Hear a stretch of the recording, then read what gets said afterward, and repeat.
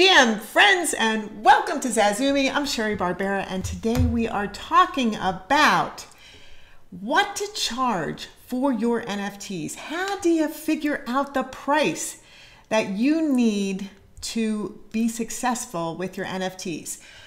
Over 50%, this is an interesting statistic, over 50% of all NFT sales are below $200, averaging out at $150. I'm talking about initial price. This is not secondary sales, this is initial price. And there is a big difference between your mint price and your secondary sales. Now, with that in mind, let's get off Mr. However. This can vary from platform to platform, and by platform I mean marketplace, hugely. For example, on OpenSea, the average price is $500, whereas on Mintable, where it's more about one of ones, the average price is $900. So this should give you a good starting idea of where I'm going with this. Top selling generative, and by this I mean created so first the artist creates the artwork, then it gets put into software that generates a 10K project or a 1K project or a 5K project, thousands of NFTs based on the original artwork, CryptoPunks being one of the most coveted of NFT generative art. This CryptoPunk, for example, sold for $7.6 million. So things things can be quite astounding in this. When you're talking about a single piece of art, one of the highest selling ones ever was by Beeple, the artist Beeple, called Every Day is the First 5,000 Days, sold for $69.3 million, not on a marketplace, sold at an auction. And that is also another way that you can sell your art. How do you determine the price for your NFTs? You first want to start with your research. You want to research all of the different marketplaces that you, specifically you, might want to put your NFTs. Research your competition, research what buyers are willing to offer. What do I mean by this? For example, with market data, go to the marketplaces, look at the floor price of NFTs in the same and contrasting genre of whatever your NFTs will be. This is how you will quickly learn. Write them down and then average them out. You'll quickly learn the average price, the average floor price of NFTs in your genre. Now, that is not the same as the mint price. The mint price is the initial price. It's the first time your NFT drops it's the first time it is priced, and this is the most important price that you will have, your mint price. And you want to research the mint price of those same NFTs. First, you see the floor price. Now go back online and research what was the initial or mint price for this piece of art or this collection. This is a quick way to learn the average mint price. You want to list all of those and then total them and average them based on how many of them you came up with. Your competition, and by competition, I just mean someone who is creating something similar to whatever it is that you're creating. And I don't mean broadly. So, for example, if someone is doing NFT photographs and you are doing NFT photographs, that's way too broad. That's not competition. That's just someone within your same vertical. What you want is someone doing similar type of content that you're doing. If you are doing photographs of petroglyphs, and I know someone who does that, then you want to look at people who are photographing Native American art, for example. If you are doing artwork that is generative and perhaps it's all based on bunnies, then you want to go and look at other people. Go into OpenSea, type in the word bunny, see what comes up. What are people doing perhaps that is similar to you? Maybe your genre is a specific type of comedy. You want to go and see are other people doing that and then What is their following? Go and, and enter the name of that collection with an at symbol and see if they have a Twitter following, if they have an, an Instagram following. Why would you do this? Following is an indication of how successful their project might be. Now, I have a caveat on that. Can I pop over to us for a second? You can. Okay, I have a caveat on following because there are bots, and those are robots that people send through the internet to create false followers. And you may look at someone's following and say, oh my God, they've got 50,000 followers. How could I possibly compete with them? And yet, there's no engagement, there's no commenting, there's no interaction. And that is a clear indication that those aren't real. And a way to find out if the following is real is to go and look, click on following, and then go look at some of those followers. Who's following them? Are they engaging with them? Are they interacting with them? And if they are, then if those are real followers, maybe this person is not actually posting content to engage with people enough to start building up a really vibrant community. This happens. So there are caveats to just looking at following. Who's here? Okay, Rob, hello and welcome. Good morning. Great to see you, Rob. Dale is here. GM, wonderful to see you, Dale. Wonderful to see you guys. Thank you so much for being here. I'm going to quick go back, look at their social platforms, look at the sales. You can find that information right on the marketplace. How many sales they've had right at the top of their collection. It will say, or they're one of one, it will say how many sales they have, what the history is, how frequently their NFTs are selling, the marketplaces that they sell on. This is another thing that you want to find out for yourself in order for you to know what are marketplaces that would be good for your collection or your one of ones. And finally, who are their buyers? Who are their collectors? Not the same. Buyers and collectors are two different sets of people. And who are their followers? Those are three different sets of who. And you want to know who all of those are because buyers might just buy as an investment and flip in the secondary market. Collectors might be buying to HODL, H O D L, hold on for dear life, so that as the prices go up and up, they're just going to be more and more valuable. And maybe in the future they'll sell, maybe not, but these are people who you want because they are also valuable and extremely important in buying additional NFT pieces. And then followers. Followers may not be ready to purchase yet, but that doesn't mean they won't in the future as they start to understand NFTs better. So you want to understand all three of these sets of who's buyers, collectors, and followers.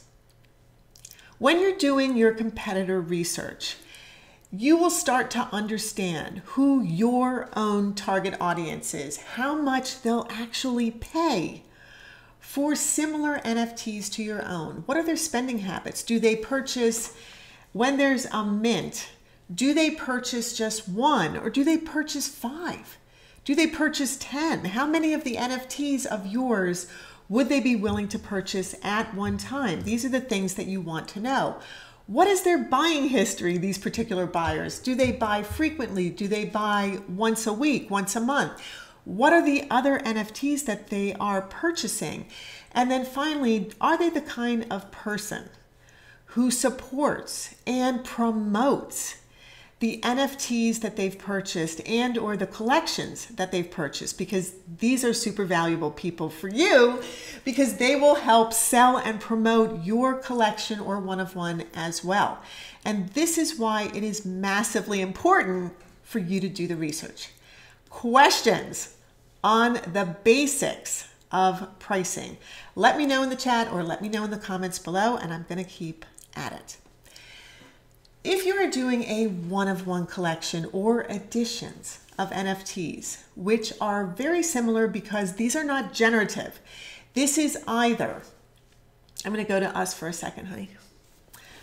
This is either you creating one piece of art And that could just be something that you only sell one of and you'll never make another one. It's just one piece of art. Or, like a printmaker, you create one original piece of art With a series.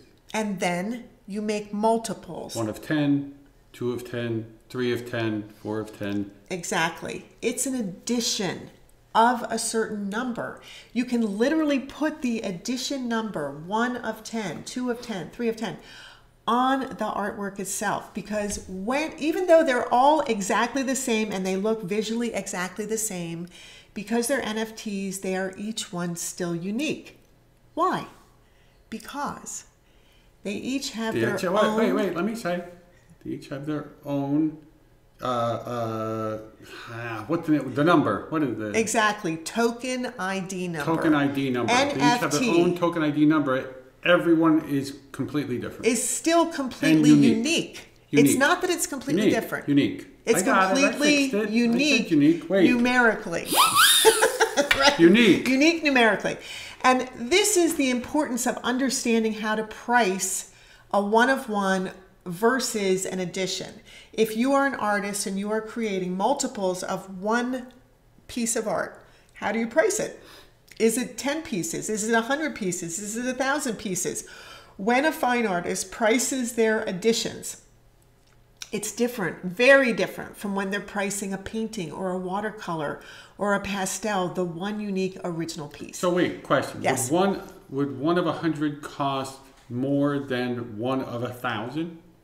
I mean, if you're going to think about how you price things, Would one of a hundred cost more than one of a thousand? just that just popped in my head. I would hope that you would price it, yes, Right. differently. it'll Because be- one of a hundred is rarer. More rare. Rarity is the most important thing when it comes to NFTs. Is rarer How a word? Rarer? Because Yes. it's really hard to say. It sounds like you know Helen Keller. Rarer. It is. It is a word like Rarer. super rare. Rarer. yes, it is a word. Okay. The first thing you want to do is, let me just move me over teens. The first thing you want to do is build a following. And this is while you are in the behind the scenes, so to speak, creating your one of ones or your addition. You want to start building a following so that you form connections with collectors so that you form a group that is interested, a tribe of people who want to purchase your NFTs before you list them. There is a very solid reason for this. Number one, you will start to learn what they already buy and what they pay for it. As you meet these collectors and as you interact with them, you will start to see you go to their social media and look at what are they buying because they will post it on their social media. wait, wait. I have a question. Yes, let me go to Oz. Yes. So, Yes, Columbo. so they have. So how do they know that you're having? How would they buy a piece, an NFT, before it goes up, before it's posted? How would they know it's there? How would they buy it? How would they buy it? Are you talking about said- collectors? yeah, you said a collector could buy a piece before it gets posted. How do they do that? Well, a collector can buy a piece like a preview? prior to it get, getting posted. Generally, that happens on being whitelisted for something and also knowing someone privately and personally and DMing them and things like that. because they become Okay. they become uh, collectors. They're collectors. So Rob said pricing is so subjective, subjective, exactly, until you sell some and have data. Exactly. Do you think social media, social media marketing, creating buzz might be just as important as the artwork? Yes, I think initially it's more important than the artwork. More In important. fact, in fact, you just said and told me that preemptive social media is very important. very it's like the most important. In fact, you have to do that before you actually put up your your um, NFTs. Yes. Prior to posting your collection, you need to be out there promoting, marketing yourself as an artist, yourself as a creator. If you're not an artist, it's fine. Promoting yourself as a creator or promoting if you're doing generative your project and or your project both and you want to start building this following and it's massively important to build a following let's It's go like back to um, the slide it's like billboards and posters. Like billboards and posters. Yeah. Like, you know, before before there's a show or Before the show, some sort before of something happens. What Get have people psyched I, up about it. Right. What have I always said about, for example, YouTube, where there are movie trailers, right? So you create a trailer for your movie to get people excited. Huh. Because how else do they know about the movie? They People- don't, okay, right? They so don't. yeah. Okay. Do people do NFT trailers? Uh, you may be the first. Did I You just may be like the first. something really good and Well- share it with everyone here? yes, So, yeah. yes, they do. What about a YouTube video with NFT trailers? Yes, you want to do that for sure. And yes, people are creating sort of trailers, but they don't call them trailers because I think in the NFT world, they don't really, they're not really savvy to that whole trailer kind of thing. But yes, you want to market and promote your collection or your one of ones prior to actually posting anything, prior to actually dropping anything. I want to use the correct terminology here. So you drop your art on a marketplace. You drop a collection. So I can see you're thinking. I so love the hard. trailer idea. All right. See what they buy and at what price. Learn and decide. And this is you doing your own research. You want to start low. You want to build a track record. Now, this is for you as a newish artist, as a person who doesn't already have a following IRL in the real world. If in fact you have a following in the real world and your prices are already in the two to three to five thousand dollar range, still, and I use this caveat because the NFT market is totally different. Still, you may want to start slightly lower. On the other hand, this is a great opportunity for you to start building up your presence online with new people in the NFT space who are collectors. And you can show that you have sales in the four to five thousand dollar range already before you post your NFT collection. This is different from a brand newish NFT artist who is just starting out, and this is who I'm talking about. So start low if you're a newish artist, build your track record. In other words, build up to new higher higher prices slowly, incrementally. Don't go from 500 to 5000 go from 500 to maybe 700 to then maybe 1000 to then maybe 1200 this is slowly and incrementally increase your prices over a period of time. That period of time might be as small as six months if you build a quick rapid following but if you don't it might be over a year. The thing about building your following prior to posting, prior to minting, prior to dropping, is that you will then have confidence in sales. And that is the most important thing for you is to have confidence in being able to sell your art when you post it because this ensures that people believe the value of your NFTs. So ideally, ensure a buyer is ready to purchase your first NFTs before you list them. Build up that following. Alternatively, because there's always alternatives to everything, aren't there? Let your buyers decide in an auction. And there are popular one of one platforms, mainly who only allow auctions. Some of them are now allowing you to list with a, with a set price, but SuperRare, Foundation, Nifty Gateway, and Known Origin, they only basically now only have auctions, although some of them are allowing you to sell outright at a specific set price. And the reason why it's good to do an auction is because the starting price of an auction is set by you. So, how do you determine what that should be? Well, it should be no lower than you'd be willing to sell the same exact piece of art in real life. Yes. One moment. Yes. Okay, auctions. So is there are there auction houses for NFTs? Well, those sites, Nifty Gateway, Mintable, SuperRare, have an auction Foundation. section. It's not that they have an auction section. That is how you sell. Oh, You sell in an auction. oh, Yes, you cannot actually, although some of them are switching over to both right now, you cannot just list it with a set oh, price. that's right. I've seen you putting bids on NFTs Yes. Yes. So you you are seeing what the market will bear. In other words, you are listing your NFT at a at a certain price and then you want to see what the market will bear. If it doesn't sell at all, it's too high.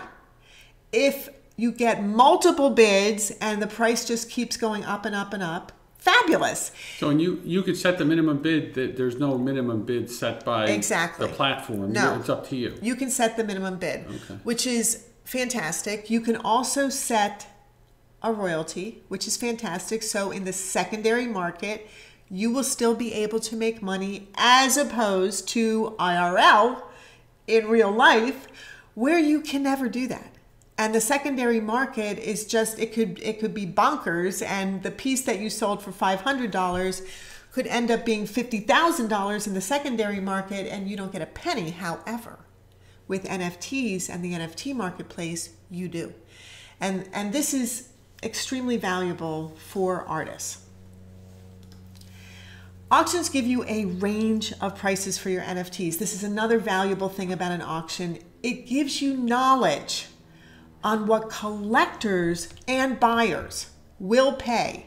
It provides information about them. As people bid, you can then click you can then click on their wallet address, hmm. go look at what have they bought? Hmm. How much did they pay? You can find out so much information. This is a completely different world where you can find out a ton of information But in the same respect, they could find out about you. Yes. Yes, in the same respect, they can find out. So if you're about watching you other people, other people are watching you. always. Well, that's that's true in any case. Yes, but it's much more transparent.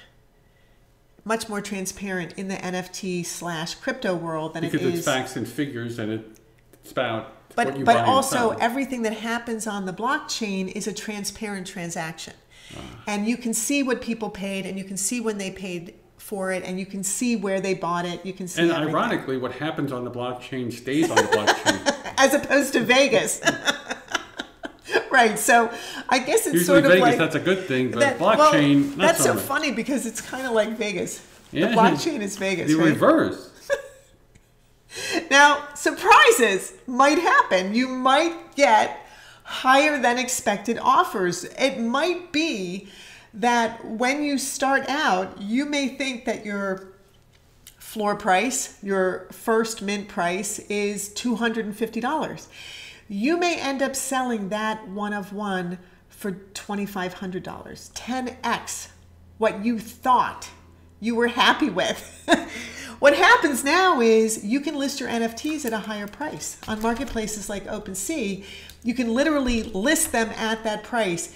And when you do that, you want to be sure that you share this on social media. You want to say this buyer or collector bought your NFT at this price. Yes, actually at this price because it identifies and solidifies the perceived value of your NFTs.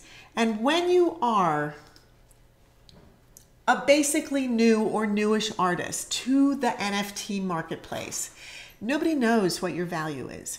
You may know what your value is. Buyers in real life may know what your value is, but the NFT marketplace does not know.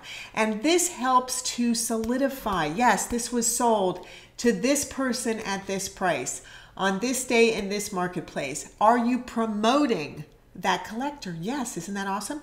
Are you promoting that marketplace? Yes, you are. So, should you be using the at symbol of the marketplace? Absolutely, because they want to see that. Should you be doing hashtags of that? Absolutely, because again, massively important for all of this synergistically to work together to build a following for you. Inventory. Let's talk inventory because pricing and inventory, right? That's a marriage. If you're doing one of ones or edition sales, buyers need to be convinced that you're legitimate. So don't list only one or two NFTs or one edition of 10. Don't list too many unsold one of ones or editions because you want to showcase your creativity and value. Buyers need to be convinced, collectors need to be convinced. This is why you need to start with getting a following. You need to start with finding collectors. You need to start with ensuring that you're going to have a buyer when you drop your first NFT. And even if it's your mom. Let's hope she has a different last name from you, okay? So even if it's your mom, or let's say she's got, you know, a generic name for her wallet, which is the best thing to do. Even if it's your mom, even if it's your cousin, even if it's your best friend, who cares? Get someone to buy, get someone to invest in you so that there is proof, not only on the marketplace, but social proof that you are legit, that your NFTs have value. That is massively important. If you are doing an edition, multiples of one piece, the more copies or NFTs in one edition, the lower the price. Fewer multiples, higher price, rarity. Rarity, rarity, rarity. Get that in your head. The most important thing price wise is rare because everybody wants something rare. An edition of 10 is priced lower than a one of one, than one. An edition of a thousand is priced lower than an addition of 10. And it just makes perfect sense. Now, how can you increase the value even of a multiple? You can by adding utility. And utility is just what else am I buying besides this collectible piece of art that I could resell in the secondary market? What is it that is going to provide your buyer or collector with higher value than simply the piece of art? Well, it could be a higher quality file format in unlockable content. And I covered unlockable content when I was helping you learn how to set up your profile page on OpenSea. And unlockable content is the utility that you will be giving your buyer slash collector when they purchase your NFT. You can offer custom resolutions so that they can use it for wallpaper on their computer or print it out because maybe they want to frame it. Or maybe you even make the price higher and when they buy the NFT, you actually provide them with a print. You mail them a print. So these are the kinds of things that you can do. You can include access to exclusive commissions. You can include real life or online events that you're hosting. You can even include discounts, some kind of a coupon on merchandise or products that you are making from your collection. And that is value. So for example, VeeFriends, which you have heard me talk about multiple times, Gary Vaynerchuk, Gary Vee, created a collection called VeeFriends. And they are basically utility. The utility incentivizes someone to buy at a higher price.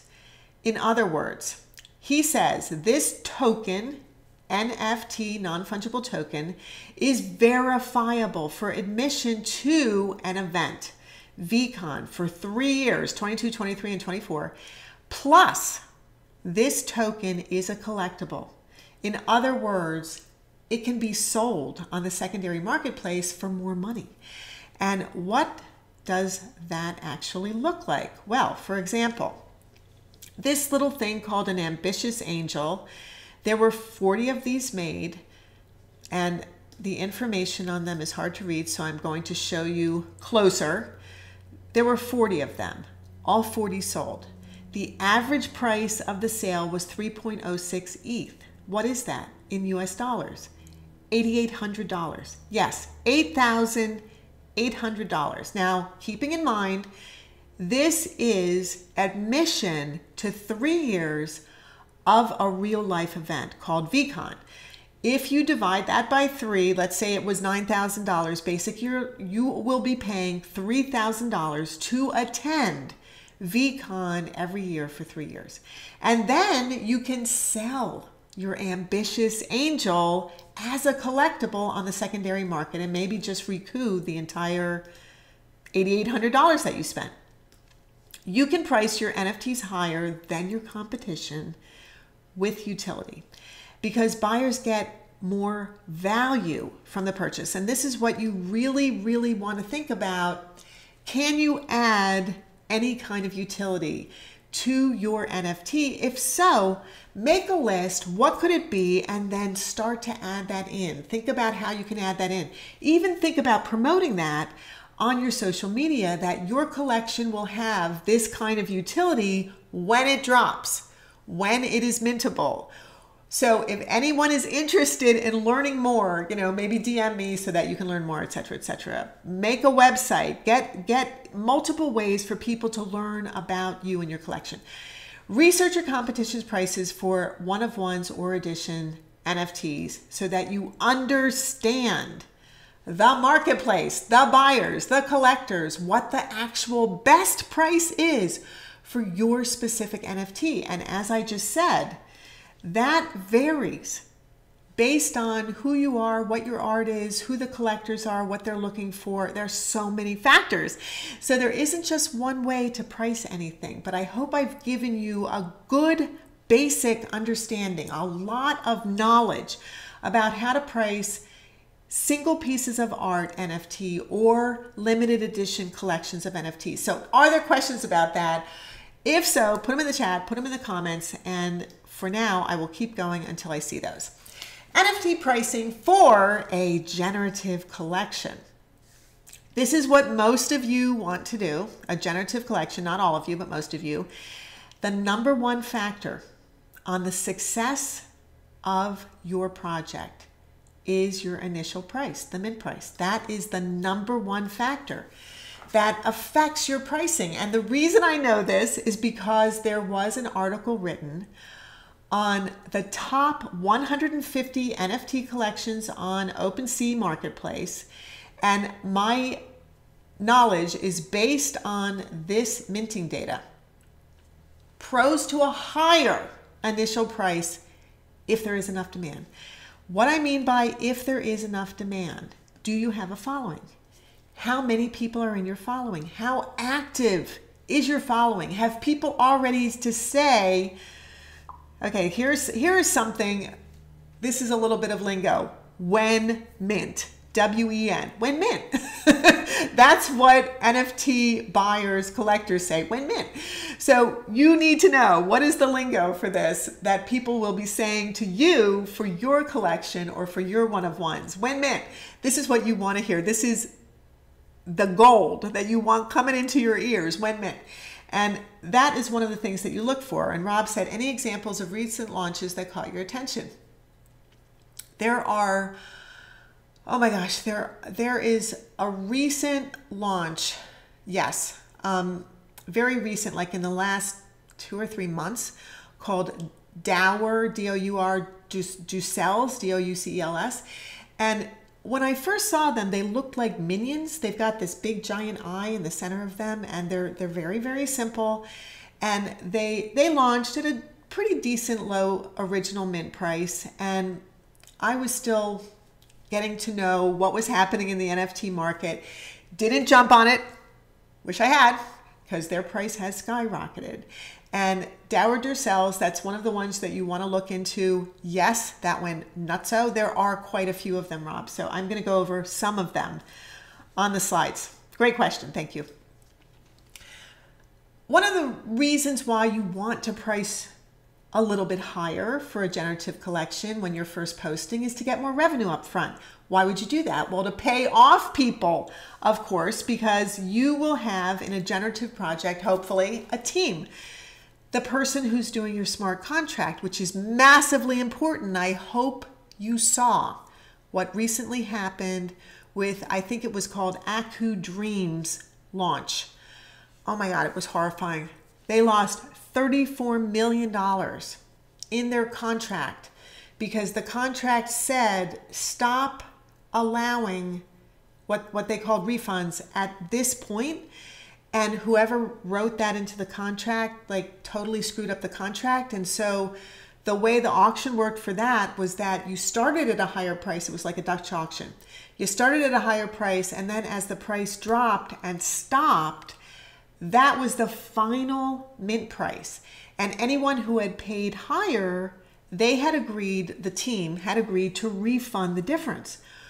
Well whoever wrote the smart contract locked those funds.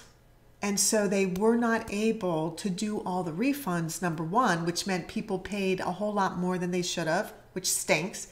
And number two, the team was locked out of the funds to pay them and whatever utility they had added in. And this is why smart contracts are unbelievably, incredibly important and so on your team, you need someone who really, really understands how to write a smart contract, and then you should get it audited to make sure it is a good audit. And Rob said, um, on the great lucky chance that there is some interest in your collection, yeah, right? Would you hold back some of the collection for a later secondary release? That is an excellent, excellent question. And that can be done in the smart contract. This is why it is so important for you to have a person who can write that smart contract that understands how to make that happen. You, as a person, will not have that computer um, language understanding, the smart contract language understanding to know how to put that into your own smart contract. Yes, you can do that. You can make it so that 500 drop first, then the next 500, then the next 500 on a certain series of days. You can make a thousand drop or 3,000 drop. So, yeah, you definitely do need to know how this works in your smart contract. That's a great question. Thank you, Rob. Let's get back to it. With a higher price, more revenue is generated up front, but the cons to a higher initial price, again, if there's enough demand and you need to have your following already built, is that a higher price dampens the secondary market for your first buyers. And that is not great because the the impact of secondary sales number 1 is for you for royalties and number 2 is to keep the momentum going. And momentum is everything when it comes to marketing and sales. If the momentum lags, if the momentum stops cold, that's horrible because then it means it's going to take a really long time and a ton of promotion to get people excited and interested again. And therefore, you really want to be sure, as a creator of your project, that you can receive royalties from the secondary sales because often those are what are going to make you rich. okay, it's not the initial mint, it's the secondary sales. Benchmarks and takeaways from the data that I saw. Look at this. 10, 10th percentile 0.05. That was the average mint price. 25% 0.069. Median price 0.086. This is all initial mint price. 75% 0.2. But look at the 90% that did the best. 0.4. 0.4 was their initial mint price. Number of minting addresses means how many people purchased. 6,000 versus 900. 6,000 versus 1,400. 6,000 versus 2,900. Does the initial price matter? Yeah, it really, really, really matters. What else do we want to know? How many NFTs did they mint? This one address. Well, look at this. In this particular price, 0.05, not even two, most of them purchased one. Most of them purchased one NFT as opposed to in the 25, almost all of them purchased two. But in the median, almost all of them purchased three of a generative collection. And if you didn't know that people purchase multiple NFTs in a drop, now you know This is the lowest price people will ever be able to get your NFT at. 75% six NFTs, but look at this. At a 0.402 initial mint price, there were 6,300, almost more than 6,300 addresses purchasing almost nine, almost nine NFTs. Look at the dollar sales 900 compared to 9.9 million. 900 compared to 9.9 million. Why does price matter? Look at how important this is. You might want to go back to this page and look at this information. Benchmarks and takeaways. NFT collections with mint prices greater than 0.25 ETH have rarely achieved returns greater than 10x.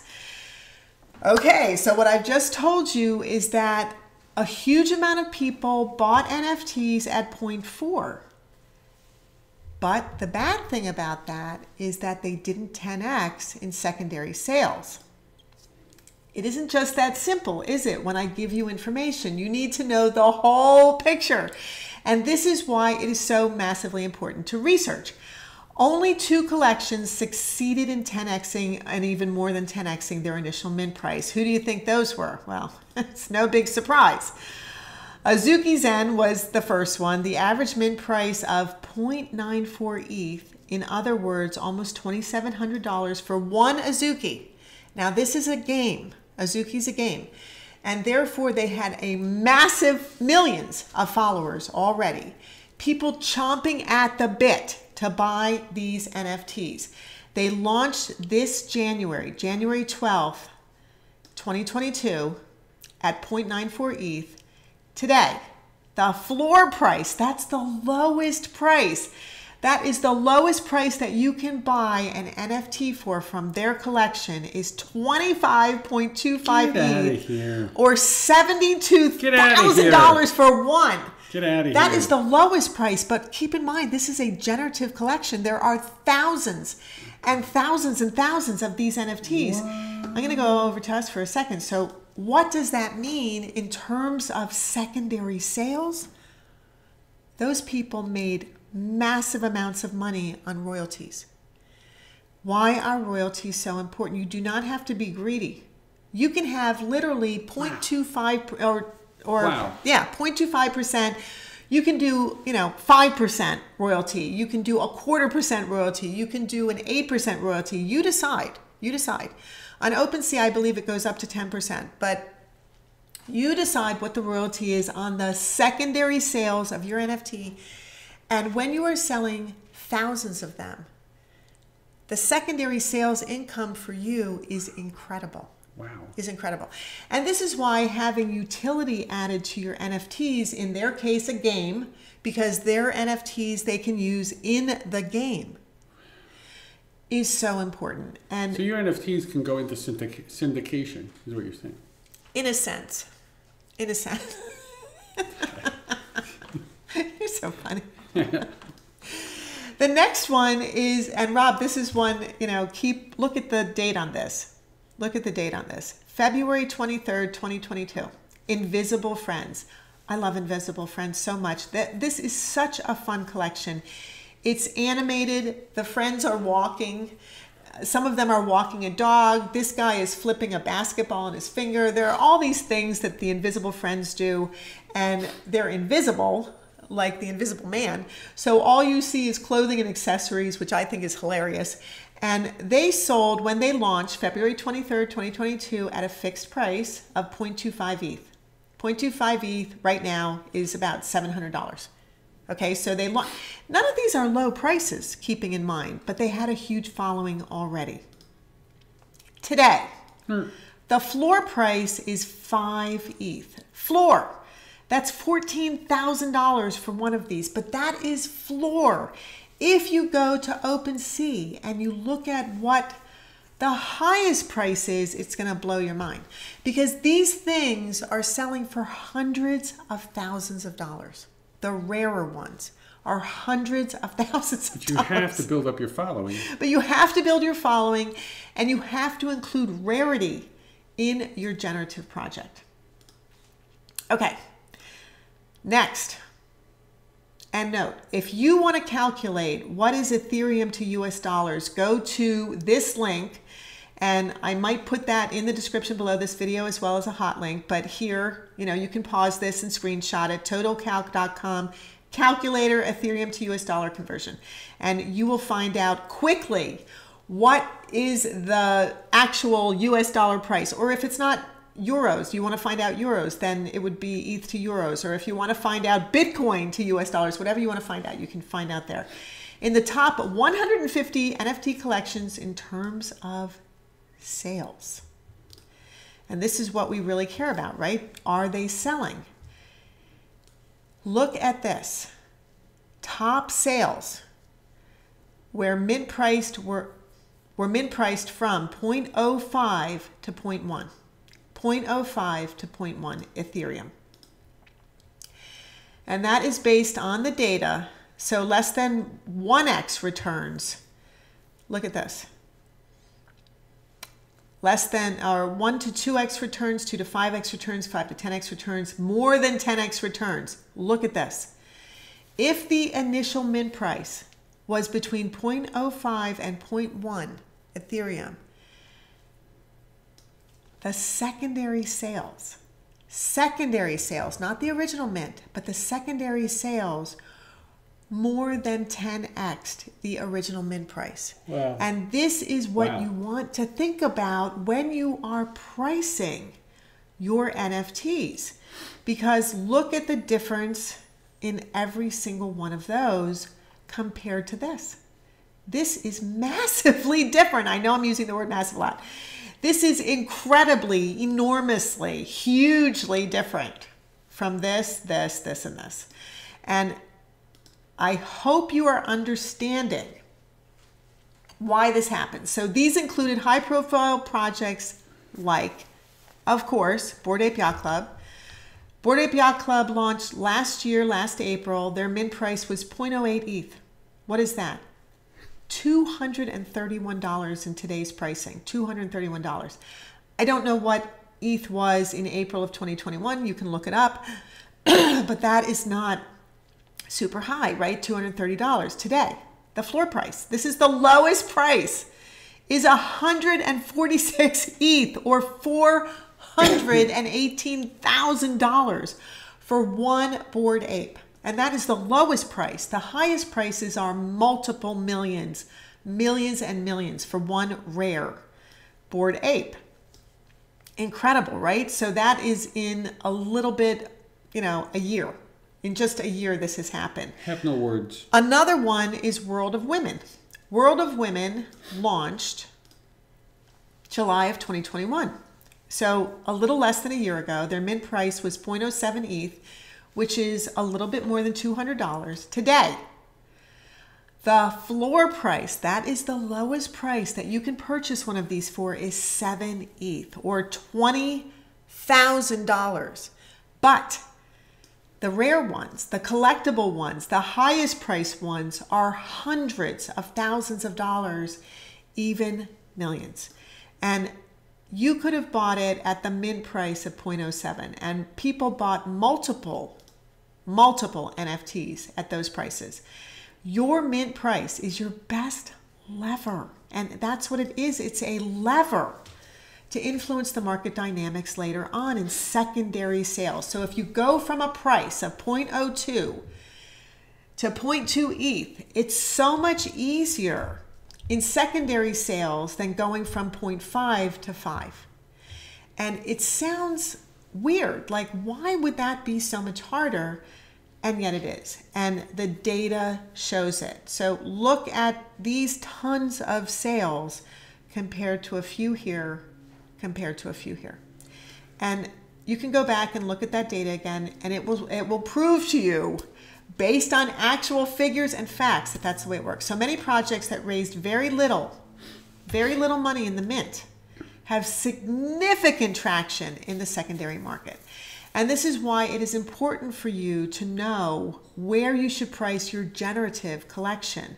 Should it be a low price? What that low price should be? What are your followers, your collectors, your buyers going to be willing to pay? What have they already purchased? Do you have questions about that? Let me know in the chat or in the comments below this video. Okay, NFT pricing strategies. Strategies are so important. You want to have really good strategies for getting great prices. So, low price strategy as a marketing tactic.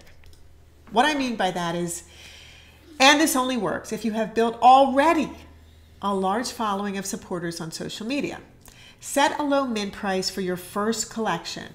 This will make your early buyers rewarded for their support because they'll be able to purchase a lot.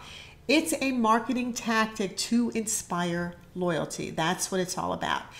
And it makes it easier to sell your next collection. And this is one of the reasons why World of Women, when they just dropped, Rob, their second collection of World of Women Galaxy. That's what their second collection is called. And their first collection was 10,000 NFTs, which is sold out.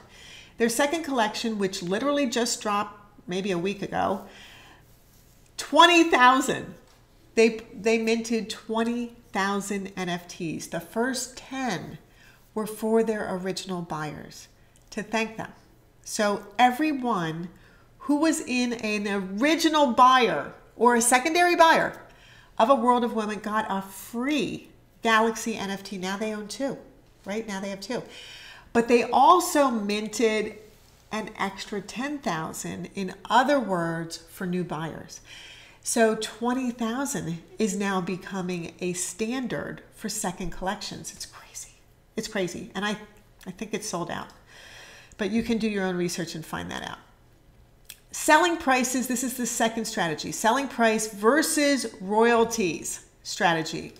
And I have just talked about royalties quite a bit. This works best for generative projects, not one of one art, because it's not quite the same. Collectible projects are more likely to change hands than a single piece of art, a one of one fine art. Now, that is not to say if it's a one of one, but a collectible in other words, if there are people, I'm going to just go to us for a second. For example, there are people who will collect sports and they will collect sports no matter what. If you do a painting of Michael Jordan and it's a one of one, but it's a collectible, it's not just a portrait, it's also a collectible portrait. In the secondary market, this could still end up giving you fantastic royalties as it flips hands from person yeah. to person.